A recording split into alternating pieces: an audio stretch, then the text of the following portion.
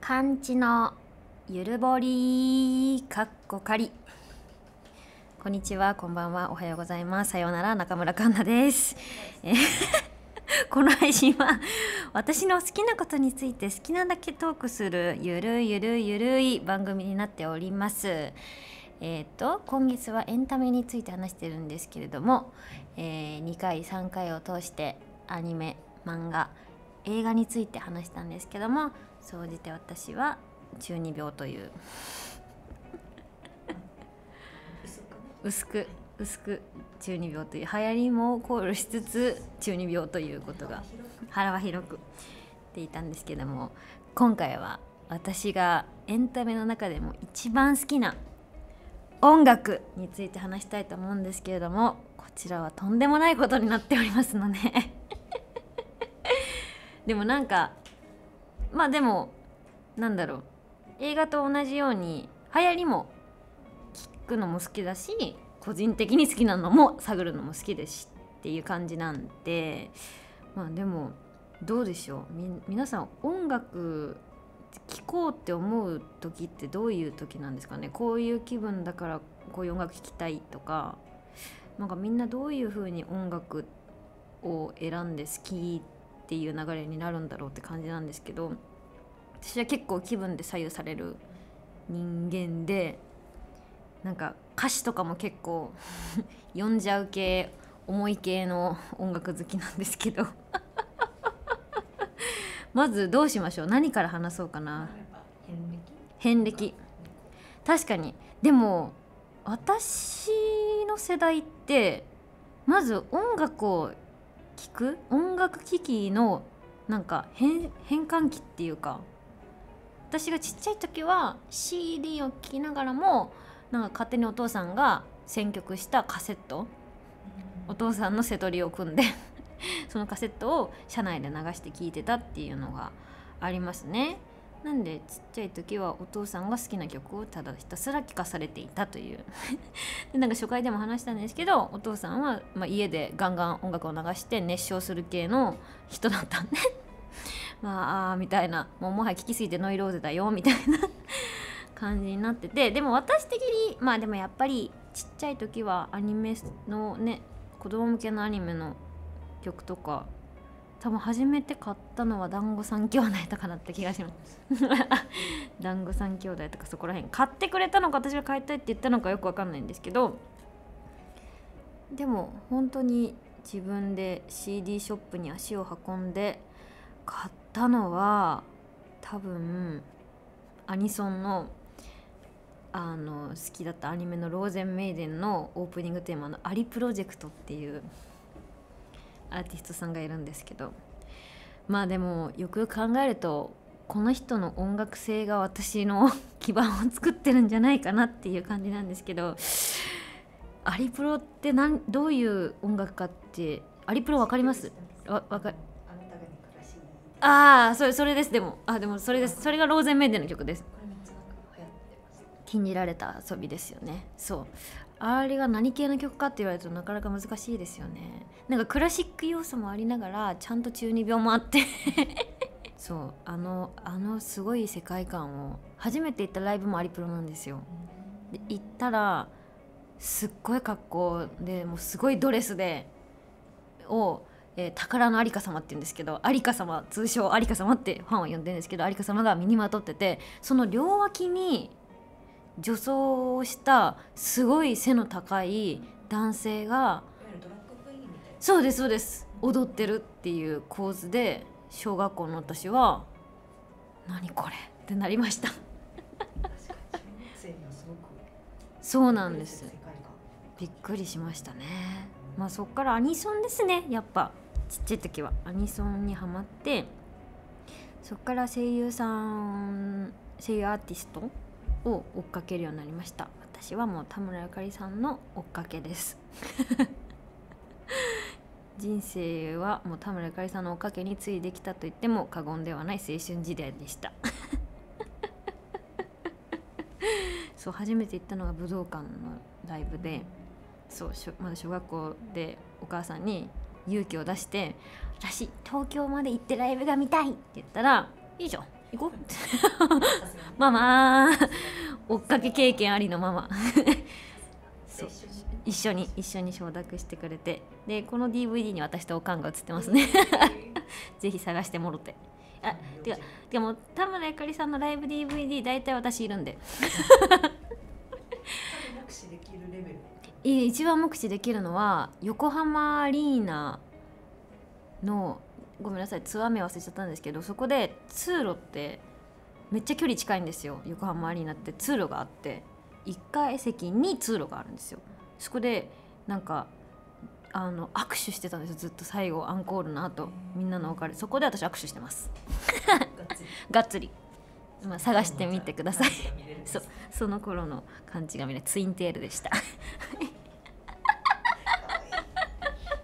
まあねそこら辺でまあニコニコ動画の組曲とかも、まあ、日頃聞いたりしてハマっていたんですけれどもまあそれが私の小学生時代してやってきますね。みんなが狂ってしまう中学生時代が。やばかった。まあ簡単にどういうやつかというと流行りの曲なんて聞かねえぜ。バンプ・オブ・チキン。バックナンバーウーバーワールド？聞かねえぜ。痛い痛い痛い痛い痛い痛い痛いやめてってどれもいいバンドだぜって今になって思うんですけど、えー当時まあでも、まあ、オタッキーな自分だったんでまあアニソンも聴きつつまあハマったものが中二でハマるまあ中二病の女の子がハマるものといえば一つですよねビジュアル系です。おめでとうございます。ようこそ。ようこそ。おいでくださいました。いやーここで通称バンギャですよね。世の中で言う。ちょうどシドがはま流行ってたんですよね。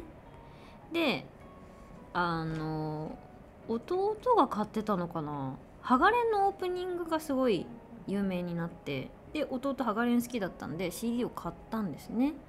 でなんか私が多分そういう中二病になりたいみたいな感じでちょっと V, 系ってなんだろうみたいな。気持ちからちょっと興味本位で聞いちゃって。そしたらあの「嘘？嘘っていう曲ですよね。それのカップリングがすごい良くて日傘だったかな。それがこうなんか失恋系のバラードみたいな。で私もともと愛子さんはめちゃくちゃずっと好きでちっちゃい頃から。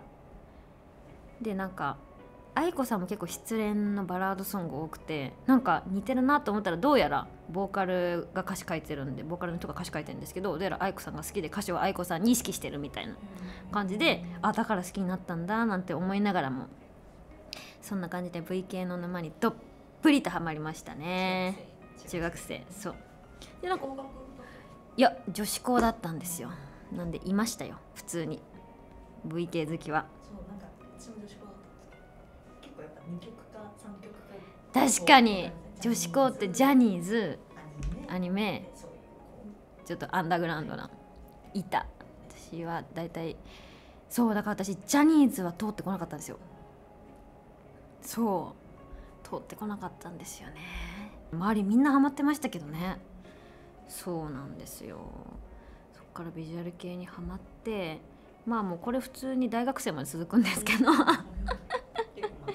そうでもその間に「のだめカンタービレ」に突然ハマってなんか再放送でドラマを見たかなんかでそこからクラシック音楽聴くようになったんですよね。そうまあベターですけど。あの辻井さん？ピアニストの方の CD 聴くようになってでもそこで気づいたんですね。クラシックも中二病だなって。えー、なんだろう。ベートーベンとかかなり尖ってるみたいななんか本とか読んだりすると。でこうなんかビジュアル系ってなんでできたんだろうみたいなのを調べた時にまあビジュアル系の原点は x ジャパンなんですよ。で x ジャパンがなんでそういう音楽を作ろうかと思ったかっていうと元クラシックが好きででも激しい曲もやりたくてっていうのでそういうジャンルがないよねっていうのでそういうクラシック要素も混ぜつつの音楽がロックの音楽が出来上がったっていういう遍歴があるんでああそこにもルーツがあるのかななんて思いつつまだまだ中二病は続いてましたね。そして突然ですね大学入る前受験期ぐらいに友達とカラオケに行ったんですよ。で友達があのマイケル・ジャクソンの「ヒール・ザ・ワールド」を歌ってたんですね。かっこいい友達ですよね。であこの曲いい曲だなって 思ってそこからマイケル・ジャクソンにはまります。そうなんです。マイケル・ジャクソンにはまってそこから洋楽を聴き始めます。アブリル・ラビーンとか。そこら辺を聴くようになりましたね。まあそこら辺からだいたい気づき始めるんですよね。中二病の私が。あやっぱスターの曲はいい曲なんだって。VK も素晴らしい素晴らしいんですよ。でもこの V 系に入り浸っていた当時私はあのマジョリティな世界には行かないからみたいな。そう。大衆が好きな曲よりマイナーな曲を聴いてる自分みたいなあいたたな感じだったんですけどマイケル・ジャクソンで気づかされるという。理由があると。そう。なんならその大衆だからといってみんな大衆向けに歌ってるわけでもなくて結構マイケル・ジャクソンの歌詞とかもかなり尖ってるんですよね。中二病じゃんって。お前もじゃん。一緒じゃん。ってなって大学生はかなりミーハーになってしまいましたそうなんです。大学ででもさらにその私がミーハーの拍車をかけてくれたのがミスチルでしたね。そう。なんか友達となんか有名だけど有名なアーティストだけど曲も大体知ってるけど聞いたら。でも行ったことないよねライブには。っていうのにあえて行ってみようみたいなムーブを友達とやってそのうちの一つにミスチルだったんですよ。そこでミスチルにはまりましたねバンド。でも総じてでもバンドとかが好きかもしれないですね。でそっからあのバイト先の子たちとフェスとかにも行くようになって。あれ？ああれ陰から陽の世界へ？ようこそ。そそうなんです。そっからキングヌーヒゲダンあとなんだろう。ポルカドット・スティングレイとか。そこら辺のテレビによく出て活躍してらっしゃる方のライブとか出てるフェスに行くようになりましたね。結果いろんなように聞くようになってもう最近は k p o p とかも妹たちの影響で普通に聞くようになりましたしまあこんな感じでいろいろ喋ってきたんですけどもランキングいきますか好きなアーティストランキングです。アーティストでいきましょう。あ3位からいきますか？ここでい一発でわかります。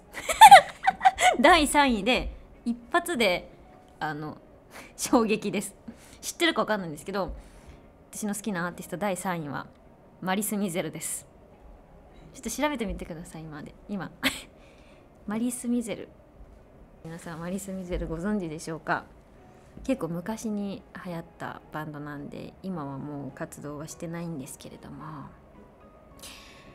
ガクトさんがボーカルをやってる時代がありましてでガクトさんがソロデビューする前。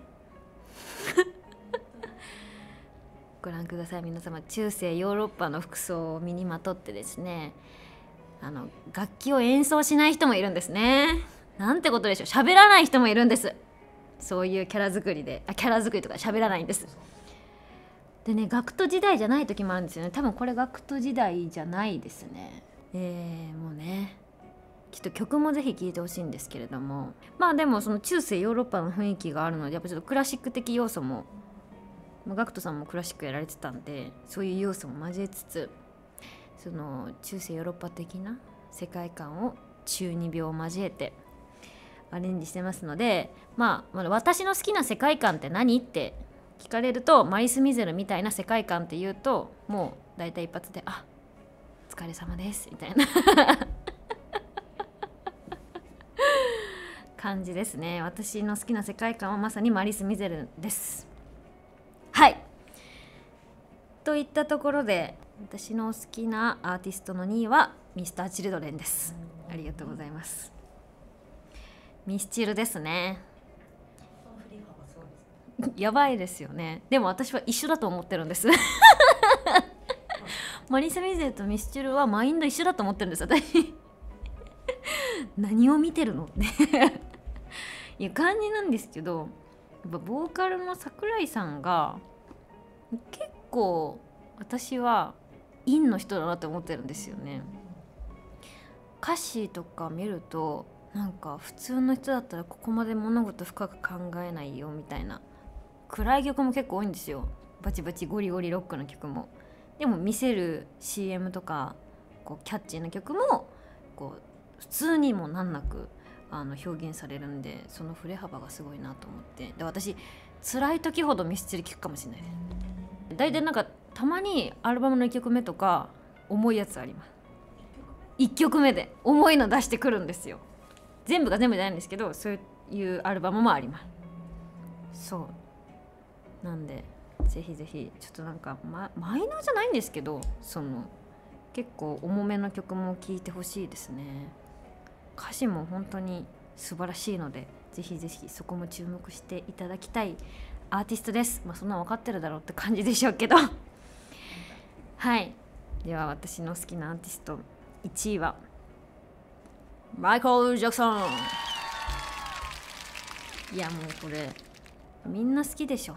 わ分かんないんですけどどうなんだろう。私の世代で好きな人はあんまり聞いたことない気がするんですけど。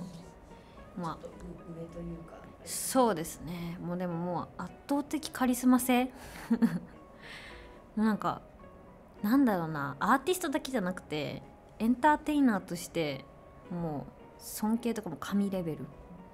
だってすごくないですか？ステージにバッて静止して立ってる状態だけで2分間「イヤー!」って。で失神する人いるんですそれで。そんなのある？わけが分かんない。でも私も行ったらもう失神しそうになるんだろうなって。ないです。お母さんたお母さんも行ったことないらしいです。でお母さんは今後悔してるらしいです。やっぱ行ける時に行くべきだったなって。そう。そう。押せる時に押さなきゃいけないね。そうそうそうそうそう。いやもう絶対的ですね。マイケル・ジャクソン。そうだな。マイケル・ジャクソン。でもなんかライブの見せ方もなんか結構今でも影響されてる部分いろんなアーティストに多くてあのすごいバラードの曲ですごいあの恋愛系のソングの時にあれ演出かわかんないんですけど客席の人をスタッフさんが引っ張ってきて一人マイケルの目の前でそうハグしたりとかでしながら歌うっていう曲があるんですけどいやなんかもう女の子がもう走走ってきて、まあ、ステージどうぞみたいな感じで「マイケル!」みたいな感じでもう 女の子の方からそうハグしてそうですそうです。マイケル歌っててそう。あのあれですよ。みそぎの時に流れる歌 そう急にね。でもあれライブだとすごい演出で。あれなんか確かジャニーズさんも誰かがその演出をやってましたよ。V6 だったかな。抽選でランダムで席ランダムで選んだ人がじゃあこのお椅子に座って僕たち目の前で歌いますみたいな演出。多分それはマイケル・ジャクソンから来てるんだろうなと思いながら。なんかそういう演出考えるのもすごいなと思って。もうみんなが見たい嬉しいくなることを想定して想定した演出ばっかりだなと思って。そう。初めて見たのがあのアメリカってアメフトめっちゃ有名じゃないですか。それのハーフタイムショー。あれはどのあれアーティストのやつ見ても面白いんですけどマイケルの映像が一番好きですね。そんな感じですね。ぜひぜひ皆さんも聞いてみてください、まあ、あと私はライブはめちゃくちゃ行った人間なんで。ライブに行くとでライブが一番なんかみんな行ってほしいなって思うんですけど音源だけじゃなくて。私いろいろなフェスとか対バンとか行ったんですけどまあ知らないアーティストとかもいるじゃないですか。やっぱねなんかあこの人たち売れそうだなっていうのすぐ分かるんですよね。何百回も見に行くと。数年前思ってた人大体みんな売れ売れちゃってあれれれれれってなってるんですけど。そう数年前に言ったよかったですね。の藤井風さんとかめっちゃいいよって言ってたらもうすぐあのなんなんが出てきて。あれあれ曲出てんじゃんみたいな。そう。でもなんか音楽も流行りがあるからなんかアーティストさんも大変だなって思いますね。なんか自分の好きな曲だけ好きそうな曲だけ演奏しても流行りじゃなかったらきっと売れないからでこのトレンドを考えてみたいな大変だろうなって。なんかそれを踏まえてヒゲダンさんってすごいなって思いました。なんかすごくないですか？なんかテーマソング作る神みたいになってません？えでも面白いなって思ったのがヒゲダンさんって初めメタルバンドって知ってました。でそれ聞いてびっくりしてでも初めてヒゲダンさんを見たのはフェスだったんですよなんか56人ぐらいで行ったんですけど Creepy Nuts を見たい人とヒゲダンを見たい人で 分かれててでそれが4 1で分かれてたんですよ。で私は、ま、どっちも気になるなみたいなどっち行こうみたいな感じででも1人だけそうヒゲダンだからかわいそうだからヒゲダン見に行こうって思ってヒゲダン見に行ってちょうど多分「Pretender」が新曲ですみたいなここで初めて新曲使用しますみたいな感じでまだあの有名なやつを出す時にそのはじあこれ新曲なんだって聞いてたんですけどえあれ「プリテンダー」の歌詞の内容ってシュタインズゲートって知ってました？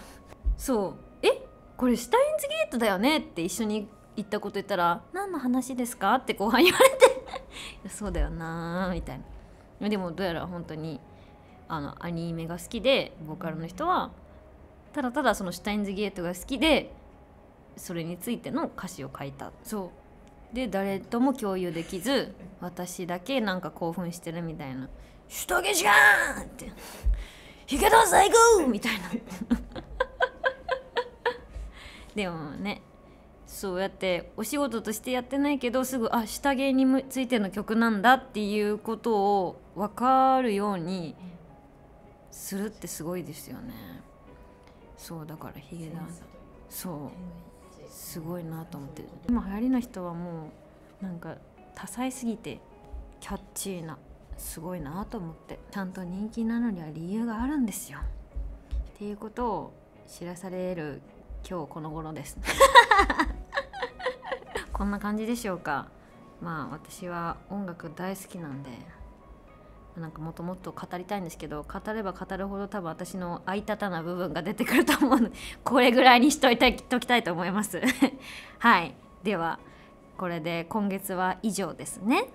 まあとっつきやすいあのエンタメについて話したんですけど来月はどんな感じにしようかなと思いつつこういうの話したら面白そうっていうのあればもう全然コメントしてくださって参加型ではい感想とかも待ってますのでぜひぜひ。はい。では次回もお楽しみということで以上中村環奈でした。チャンネル登録高評価よろしくお願いします。